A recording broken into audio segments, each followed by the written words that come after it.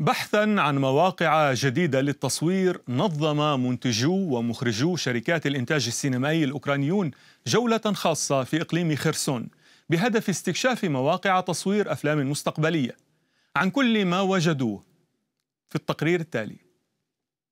ما زالت جبال خرسون بسهوبها ومنحدراتها ومياهها تجذب المخرجين والمنتجين الفنيين الأوكرانيين الذين انطلقوا برحلة لاستكشاف مواقع تصوير جديدة. هذا مكان ممتع للغاية حيث تلتقي ثلاثة عناصر عند الوقوف على حافة المنحدر. يمكننا أن نشعر بالهواء والأرض ورذاذ الماء.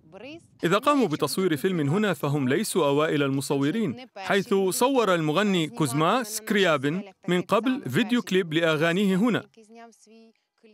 المخرجون الأوكرانيون على يقين أن صنع فيلم رائع لا يحتاج السفر إلى الخارج. بدأ يومنا من المياه الجميلة. جمال مذهر. أمر رائع أن يتاح تصوير لقطات جميلة. ليس في الجبل الأسود ولا كرواتيا بل في أوكرانيا. وفقا لصانع الأفلام فإن رحلة واحدة على طول نهر دنيبرو تحيي أفضل المشاهد لفيلم تاريخي.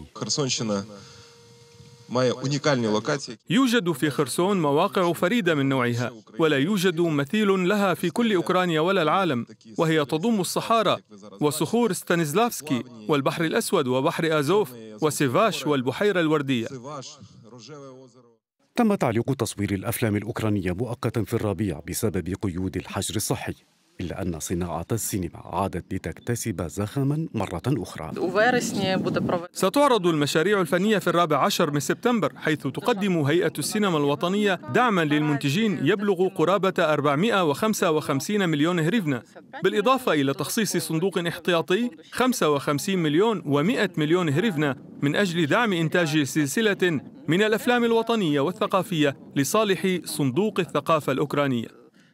على مدى يومين زار المنتجون والمخرجون الأوكرانيون ريمالا بيشكوفسكي ومحمية أسكانيا نوفا الطبيعية والبحيرة الوردية وجزيرة بريوتشي.